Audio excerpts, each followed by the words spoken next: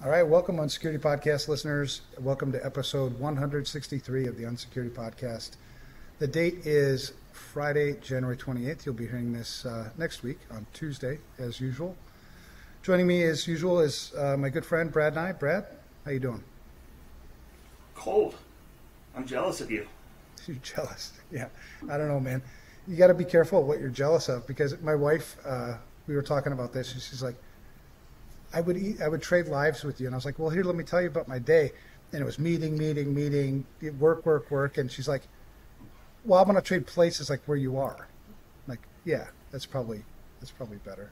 But yeah, uh, but also joining us, and I'm really excited about this. This is uh, we have a special guest joining us today. We have Max from uh, LimaCharlie, which is a pretty cool. Now, Max, you, your name is.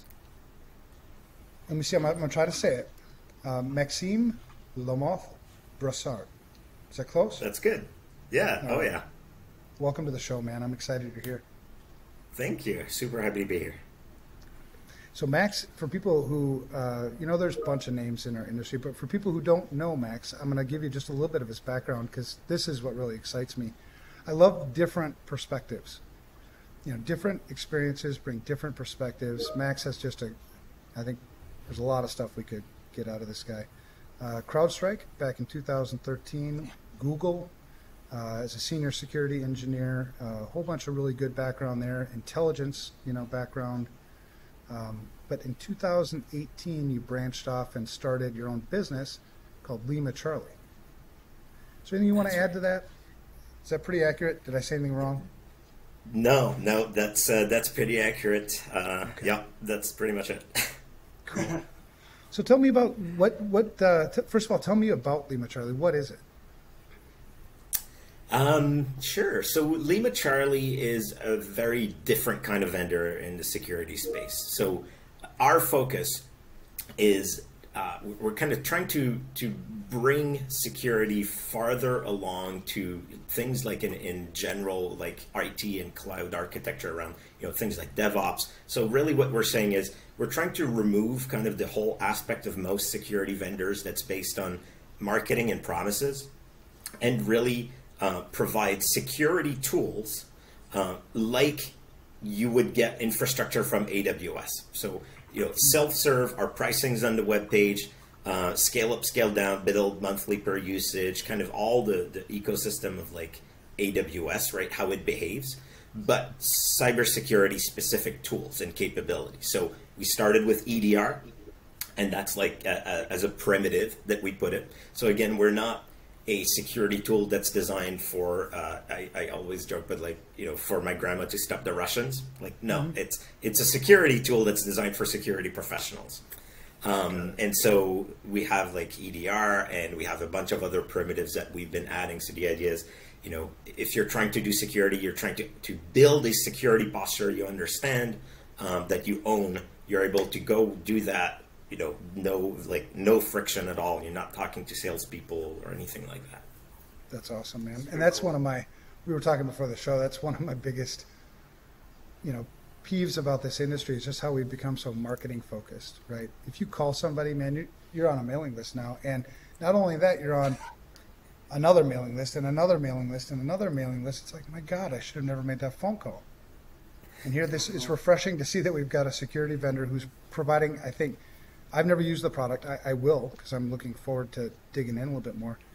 Uh, here we've got a vendor who's open, transparent, telling us what they do, what they do well. There's no other motive. We, you know, obviously, when you start a business, you need to make a living, but you know, you're not trying to, uh, you know, almost steal from people. So I, I, love that. I want to give you some kudos for for um, our listeners. If you want to go check out LimaCharlie, it's limacharlie.io, correct? L I M A C H A R L I E dot I O. That's right. Go go check them out. So how's business been going? Great, great. I mean, we, uh, you know, in a way, we took the hard path, right? Because of exactly what you said, right? It, it, I think it would have been the, the normal path for us to start a cybersecurity company and, you know, hire a huge marketing team and a huge sales team to go and hound people and, and that kind of stuff. And that's not what we wanted to do. So, um, in a way, we took the hard path, but I think it's it's paying off because we work with a lot of super interesting people.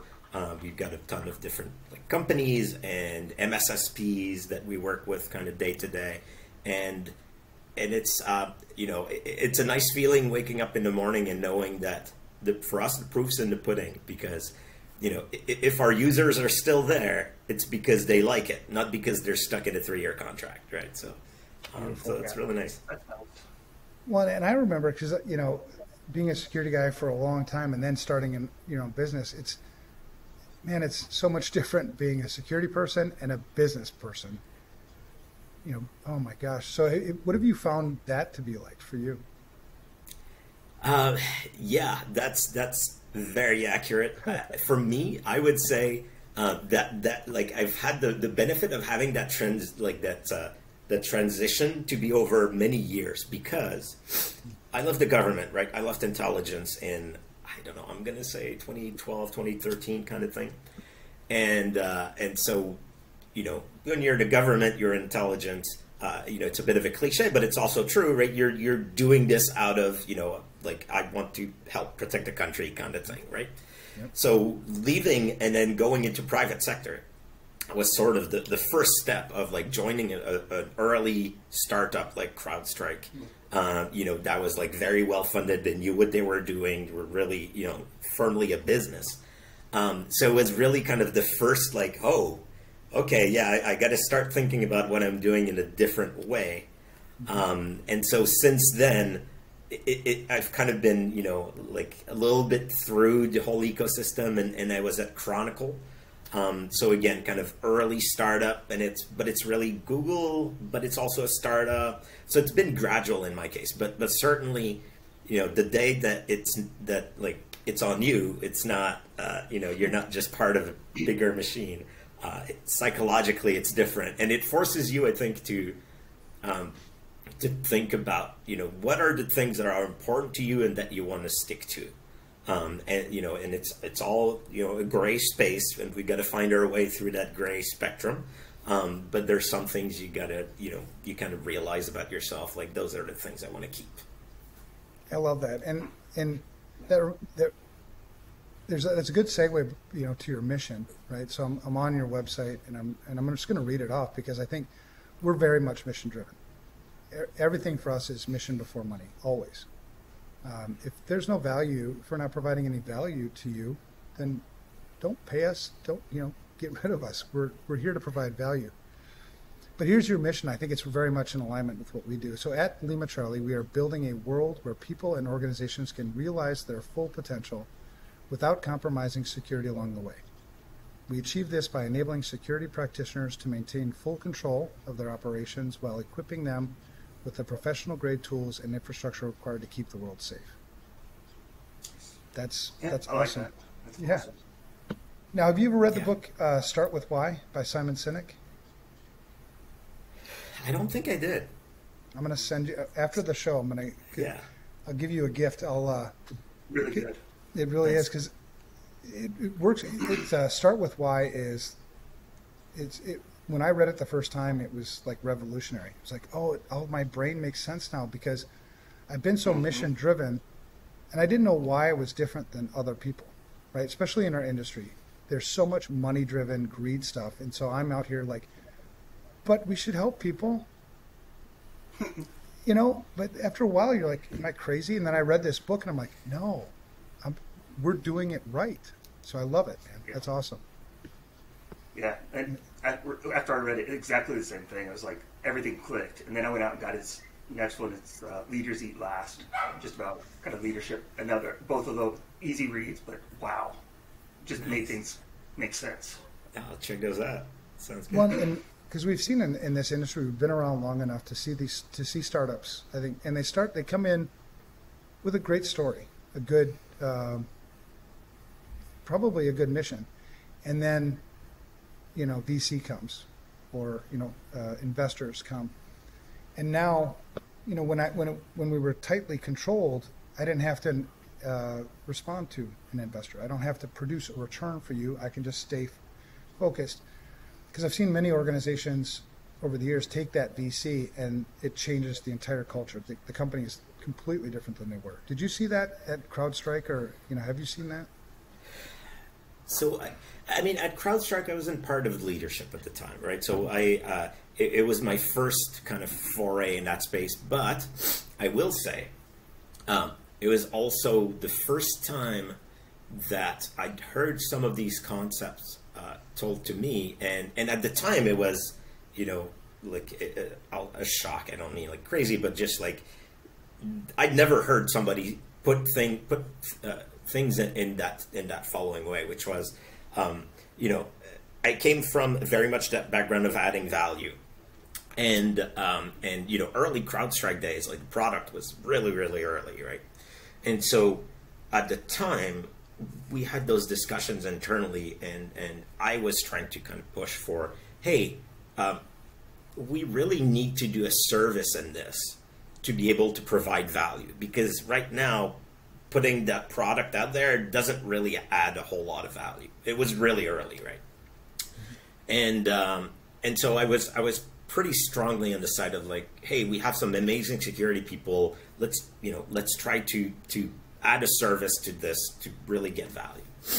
And uh, and and somebody high up had had told me that's not going to happen because uh, we are building a security. We are a product company because products product companies are valued at a much bigger multiplier on their revenue than services. Yeah. And for me at the time, that was like, what? You know, right. what are you talking? Like, I don't even know where to begin here. Um, obviously, now I I understand the dynamics behind that, right? Mm-hmm. Um, yeah. And uh, so so yeah, so there's there's a lot of kind of learning along the way of that you realize that you also have to operate in the real world. Um, and I think I think a lot the, the biggest thing, and again, like you know, in the grand scheme of things, we're still fairly early on in our company, but I think the biggest thing uh, for us has been that um, the vision that we're putting forward uh, you know, again, I'll say it like as a tagline, uh, but like AWS of cybersecurity, and I, I know that that asks for that begs for way more questions than answers. Sure, but but like you know, putting that that long term vision where, you know, the vision is not, hey, we have the you know this this shiny product, you deploy it in any company in the world, and if this blinking red light goes, you know, starts blinking, you've been hacked. That that sets the stage for us to find people and investors that that can see the value in this long term vision, um, and and we can make sure that they're buying in to to you know where we're going rather than just starting in a more kind of fluid spot where we're doing something in security and some secret sauce and you know what is it exactly. So I think that that's been helping us a lot.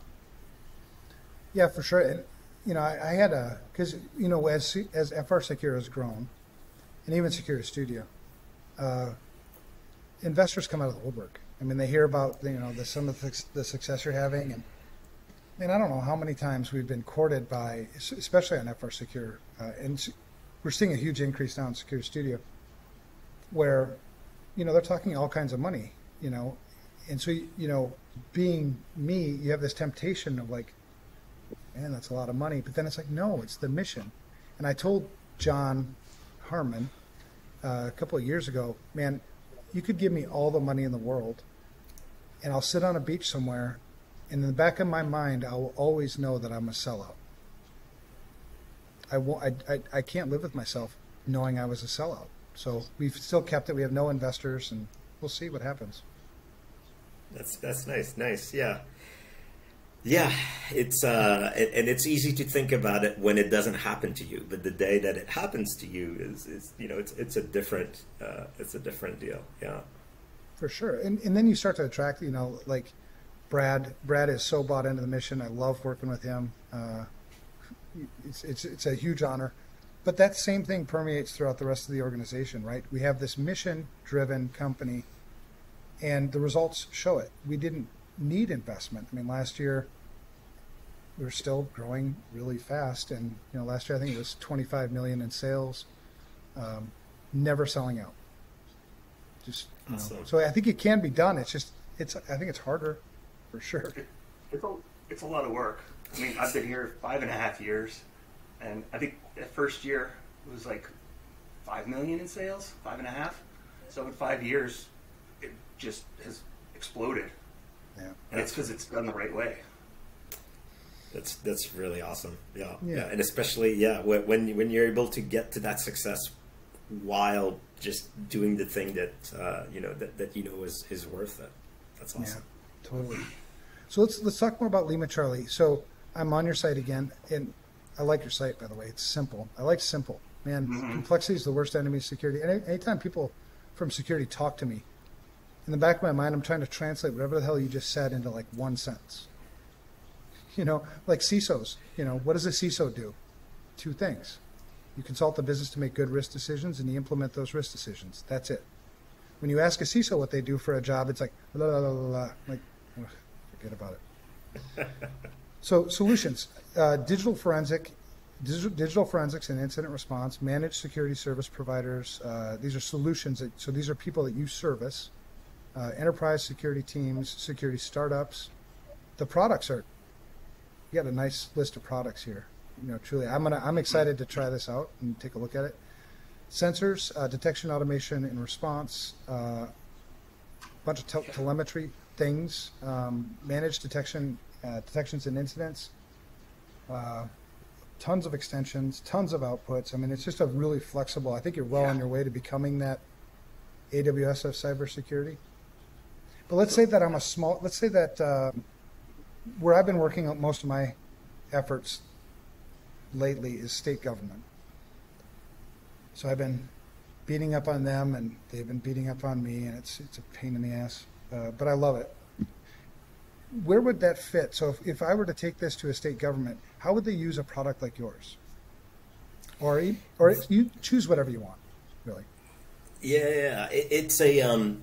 So the the I think the, the the fundamental thing that's going to shape where where we go is the understanding that we are building a cyber a, you know cybersecurity tool for professionals. So what that means is this is not the thing you're going to deploy in this small organization that has one part-time IT person, right? that that that's not the goal for that. But rather it's uh, if you've got you know an organization that's performing some security or through an MSSP, that's when you know you're going to get the value to kind of you know so it's, it's for it tends to be for bigger like slightly bigger organizations. Okay. So assuming that that's the case for like a state organization like that, um, it will it will kind of vary, but usually uh, will come in and will start by will be replacing many different things, right? That's that's kind of the, the whole idea of part of, of, of AWS is we're saying instead of running 30 different security vendors plus five vendors to glue those 30 together, um, you know, you can replace like 10 of those right now with like what we have, and it's all designed to work together. So uh, you know, you're not fighting against different things. It's all in the same platform designed to work together, like S3 and EC2 and all that stuff. Um, so you could, uh, you know, you could deploy kind of the EDR tends to be the the bigger, you know, the the bigger product that people use a lot in LimaCharlie. Uh, partly because it's such an enabler of different things, right? Because by deploying the EDR, they also get Windows Event Log forwarding. So now you, you don't have two vendors, like right there, you kind of reduce the vendors. Um, and then you're able to automate, uh, you know, the response to a lot of the, the things your EDR might detect. And so you might be able to strip out, you know, uh, like a SOAR product you were using in a, in a light way um, that maybe you don't need anymore. Um, and so you're able to integrate that, and then you can start saying, well, I want you know the alerts to go to uh, the system that that they have for ticketing, right? These alerts to start generating tickets, um, and so you can do that like pretty easily with LimaCharlie. And then then people will expand from there. That's the usual kind of path that people will take. They'll expand and start saying, you know what, uh, we use 1Password in our organization. Um, it would be nice to be able to really easily, when we investigate, like, hey, this thing happened in the box. You know, it, did it? Did they try to log in using 1Password, or have specific alerts on 1Password? And so they're able to. You know, for us, that's a sensor. So they're able to just add a 1Password sensor that brings in all of their all the telemetry in. So it Yeah. expands like that. So, That's uh, that's really is cool. it the for the the incident response? Is this more a proactive? It should be installed ahead of time, or you know, somebody calls in and we've been breached. Yeah, i- i- honestly, it's both. It's really Okay. both. Uh, Like, obviously, you get a ton of value if it's ahead of time because uh, we come with a year of full telemetry retention and searching. So Okay. that means something happens, you can look back and, and know exactly in the past year what, what's been happening. But we still get a, a lot of people that use IR that use us because they get a different type of value. Um, they're able to deploy really, really quickly, right? They don't have to go and call up, you know, your typical EDR vendor and do the whole dance. Uh, so Yep. 10 seconds, they've got their, their, their tenant like started. Um, they could use infrastructure as code, which we support, so they can build up. Hey, when we go do an incident, what do we do? What's the first day? Well, you know, we want to collect raw Windows event logs from the box, all the boxes. So we'd want to do that at scale. We want to get real time then Windows event logs. And then, you know, we want to look for this thing and that thing. And then we want to deploy our triage tool across all endpoints. So they kind of, they're able to codify that super simply with us, you know, as infrastructure as code so that when they get that new incident, they're not you know spending a day going and doing the, the like the groundwork they're able to just kind of go create the tenant push the config okay collect all the things i'll come back in an hour when everything's been ingested and i can start doing my job Very cool. And it's not like some, I won't mention names, but uh, there are some uh, solutions out there that require a reboot to capture memory, which kind of kills the purpose. Right, right, right. Uh, so no, we uh, what we do is, I guess it's a, a tiny bit of a sidestep, but like we uh, we take a uh, it's like a plug-in type architecture or extension, or we call them add-ons. So what that means is, you know, you have the EDR, and then for a lot of the capabilities that we want to be able to do, um, you you can optionally enable them in your org. Vast majority are free. Um, and uh, and so that means we leverage a lot of things that are kind of industry best, best practices. So you know you want to do like full memory dump. We we allow you to do that, but in the way that we do it is we leverage you know like well known open source tools to go and we just automate the whole thing. Same thing with like uh, you know we have Velociraptor support, right? You're looking for like the the IE history or Edge history and Chrome history, like and all these things um, you know, we don't want to go and rebuild the whole thing, so we just make it easy for you to kind of one click say, "Here's what I want, go." Yeah, that's, I mean, and you know, this time is so critical in these, you know, when this happens. And if you're waiting for email back or, you know, how do we deploy this? You know, yeah, that's, cool. That's very right. cool. One of the, the that's totally true, and one of the things like super early on that that I was really adamant about was uh, the the timing of the agent. I, I worked previously with other EDRs that you know are real time in that they exchange data every two to five minutes. Um, and that just drove me crazy, right? Because you're trying to do something simple, and it's just every every step of the way you add so much time lag. Um, so real timeness was a critical thing for me when uh, when we built this, and so all the agents are in, in you know uh, true real time, like 100 millisecond kind of constant connection real time. So if you go live on the box, no, you're you know you're live on the box. You can do all the things that you need to do uh, without. Yeah. Cool. You Yeah. can- Assuming you can do things like quarantine the box, so if you find an infection, your agent still connects, but that box is isolated. That's Very right. That's right. And we have a lot of like it, we we extend that to, uh, for example, we've got a Chrome sensor, so or Chrome EDR. It's kind of a you know the, the name there is kind of fluid, but um, the Chrome EDR. So it lives as an extension in Chrome, so you can do Chromebooks, but we treat it like an EDR. And so now we can start kind of conceptually saying, well, what's what's network isolation in a browser? Um, and we can implement that just as if you know whether you're looking at a Windows box or a Chrome you know browser. So now I can I don't need to deploy SSL inspection everywhere. I, I can I can get visibility under you know SSL from the browser. That's not everything for sure, but at least I'm able to start putting in rules. You know, like some user you know pushed creds to something that isn't like the corp website, right? Or they accessed through the browser. Uh, you know, a one-off letter of my corp website. This looks like spear phishing. Isolate the browser. So cool, cool stuff like that. That's nice. I like that you can kind of be targeted. Yeah, Right. I like how it's very. It sounds very extensible, right? It's just con- you know you can continue to extend things, add things into that framework.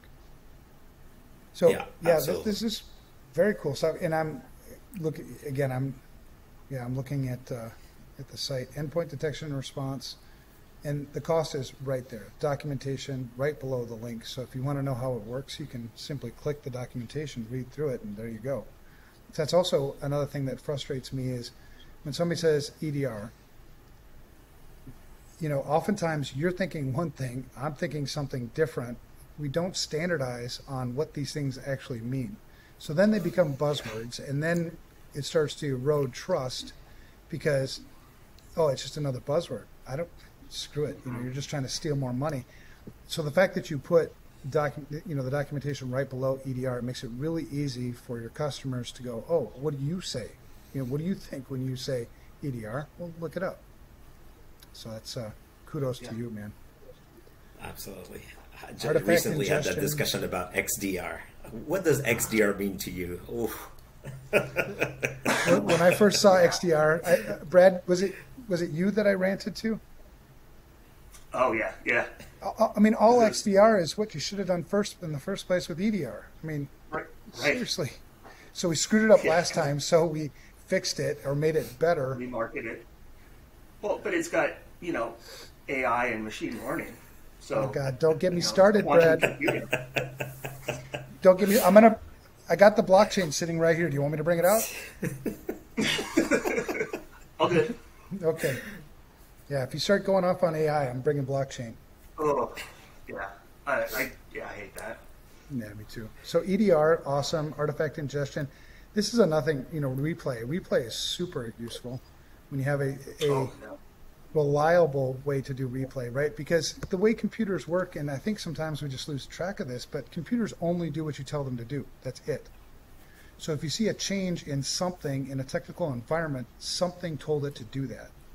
And your job oftentimes is to figure out what that delta is, what made it do that. And that replay is invaluable for stuff like that. Oh my gosh, yeah. Super cool. Yeah. So I love your It's, tool, uh, man. I, I mean, I haven't seen it yet. I'm excited to play with it. Awesome. Sounds good. Yeah. Uh, we'll, we'll give you a demo. Uh, I would say our, our team is already yeah. uh, re- reaching out. Sounds good. Keep an eye out for that. Perfect. Yeah, yeah, and they're a great IR team too. So you know they'll. Uh, we're also very you know transparent in the what in the feedback we give. So if we, I was on a call. Oh, shoot, uh, the IR team had brought me in to uh, to get my take on something, and the, the the vendor actually used the words invisible process. And so as, as he's giving me, you know, this pitch, you know, da da da invisible process, da da. I'm like, oh, oh, what did you say? He said, what do, what do you mean? I go, did you say invisible process? And he's like, yeah. I go, what the hell's an invisible process?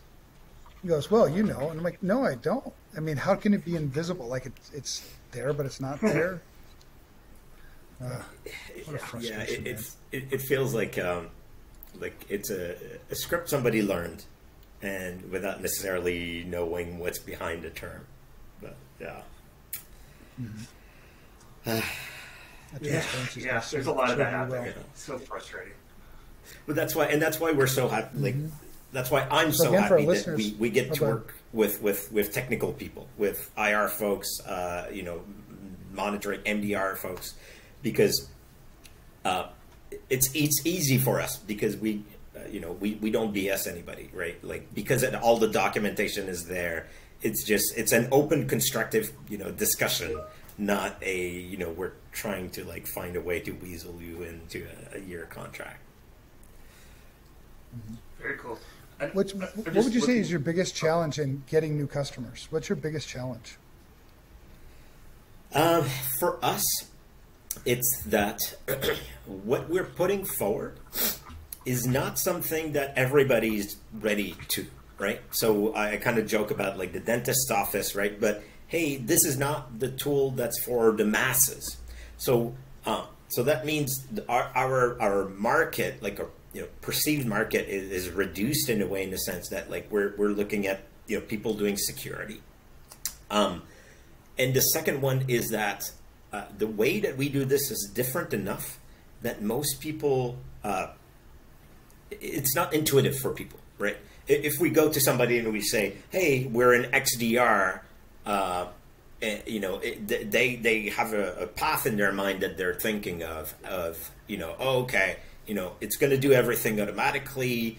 That uh, you know, I'm gonna talk to like the next, you know, over next month to three salespeople, and then we're gonna, you know, build some contract, and then you know, my it's gonna come from the CTO, kind of all the way down and we're we're inherently a very different type of product. Right? Like AWS back in the day, where you had a lot of people saying like, you know, I'm tired of racking and stacking. Like for this one time, I'm just going to go and, and you know get like EC2.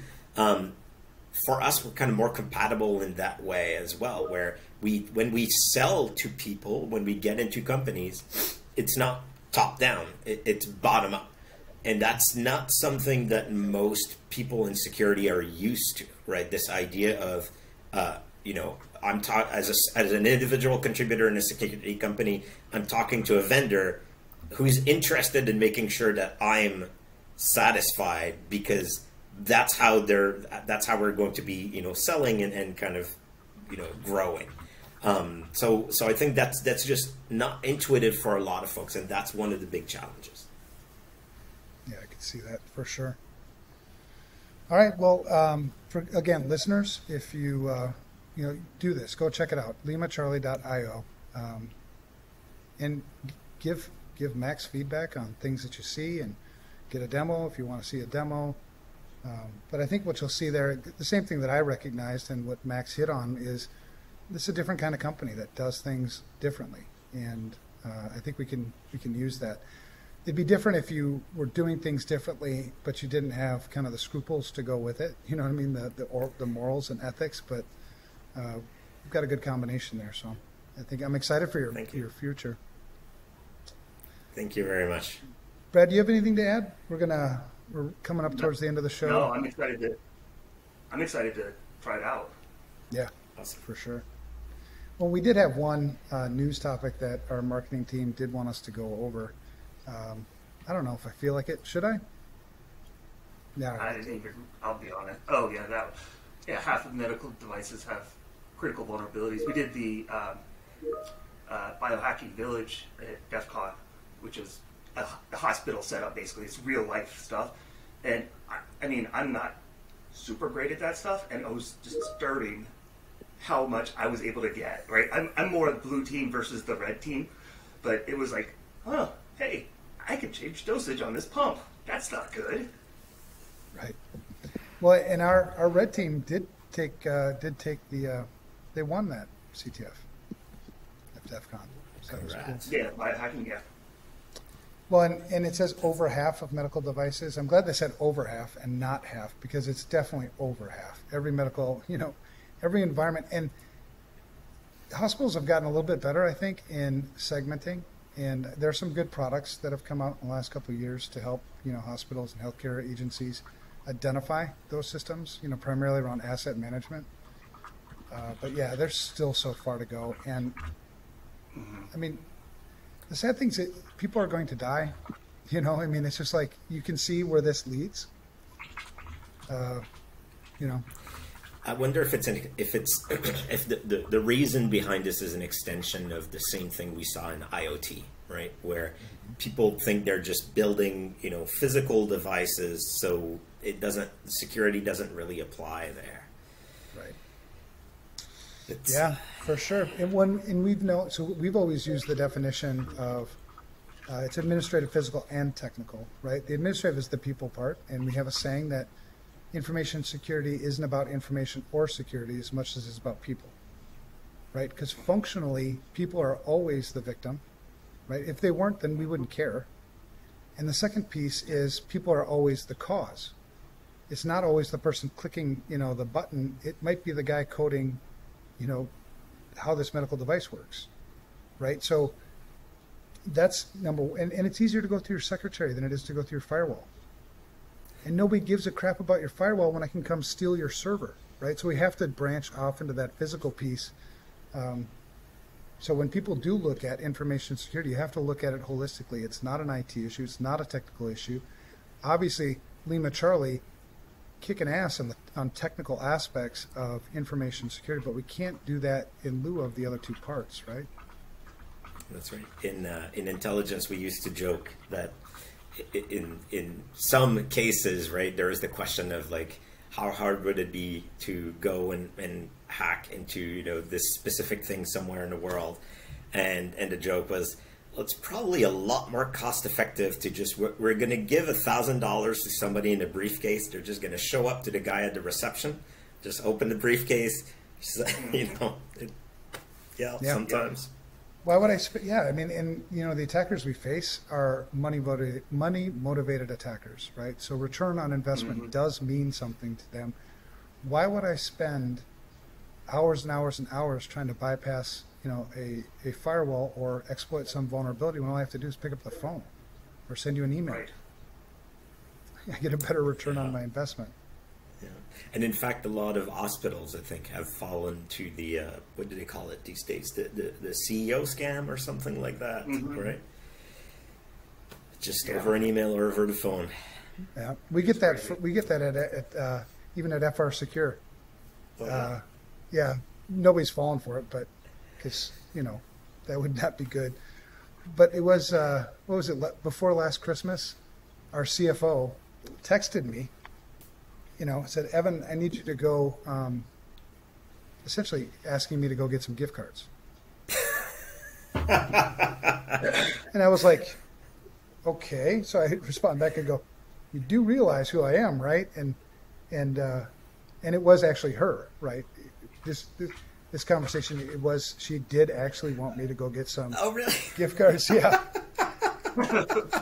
and so I, I, I said, Vinay, you got to go about this all different. You know what I mean? When I get a text like that, so I did go get a, get her gift cards, and those gift cards are being used to. I think we were handing some of those out to uh, our security team for some of the stuff they'd done.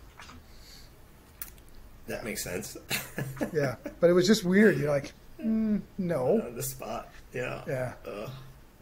All right. Well, good episode, man. I, I'm I'm really, really honored to, to meet you, Max. I'm excited about your company. Anything that we can do to help out and preach, uh, you know, let us know. Awesome. Sounds good. It was great. Uh, really, uh, really had a good time. And anytime, anytime you need anything, also happy to help. Awesome. Thank you. So the last thing we do as tradition is we give shout outs. So we just take, you know, a minute. Brad, who you got any shout outs for anybody? Um, you know, since we talked about it, I'll give a shout out to the IR team. This guy's just, it, it's what, two and a half years old. And they, you know, Oscar and I started it and where they're at now is so far beyond where I'm at. It's just amazing to watch them them grow and get better. And we had one guy stop the incident in 17 minutes. He found the uh, initial breach. Wow. So they're, they're good. That's impressive. I'm going to give a shout out to uh, Kevin, believe it or not. My He's like my work wife. For people who don't know Kevin, uh, we've been partners since 2010. Uh, some days I just want to stab him multiple times. Some days, you know, I want to give him a big hug. And uh, he's, but he, the one thing he's always done is he's never ever lied to me. He's been the most reliable person, you know, over the years. And some of the stuff he does in the background, people don't even know. So I'm just going to give a shout out to Kevin.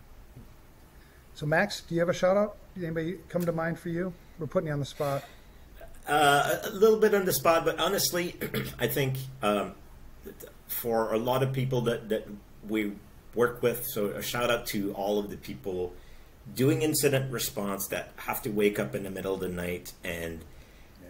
have to do kind of the the you know the non glamorous part of the job, uh, but that is also the tip of the spear and none of us would have any jobs if uh, if you know these people weren't there to do the the hard work. Awesome. Great shout out. All right, that's a wrap.